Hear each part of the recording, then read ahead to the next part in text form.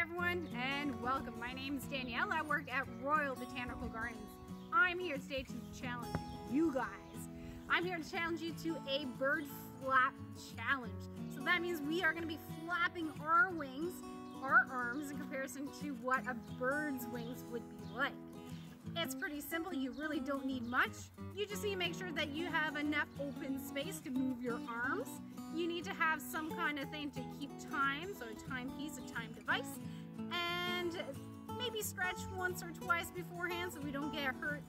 And a full flap means it's all the way up and all the way down.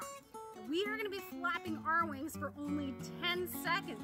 I know, doesn't sound like much, doesn't sound long, but believe me, it gets tiring pretty fast. And then we are gonna compare how fast we can flap our wings to actual birds. Guys ready? I'm gonna test this out. You guys ready? All right, go. Three, four, five, six, seven, eight, nine, 10, 11, 12, 13, 14, 15, stop. Only 15, I told you. It's not easy, it's a lot more tiring than it looks like. And I don't even equal to a crow. So a crow, 20 times in only 10 seconds.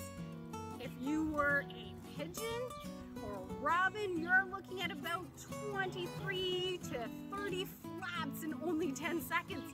So now, I'm gonna challenge other people that work at Royal Botanical Gardens. So let's see how they did.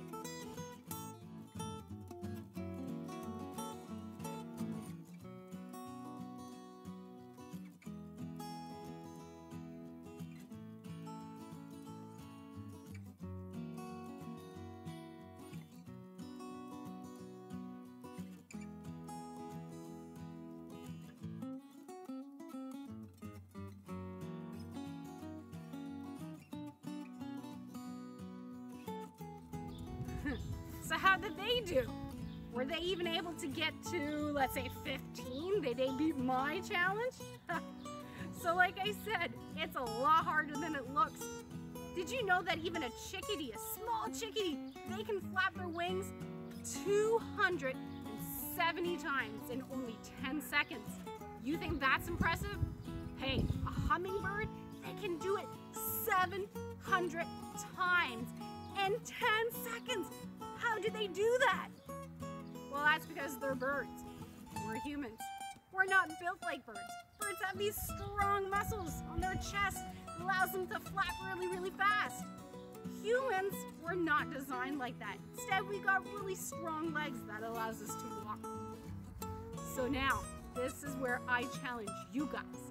You do the bird flap challenge, see how many times you can flap your wings in 10 seconds. Can you beat my score? That's 15. I'd love to see your results. Feel free to post it down below in the comments.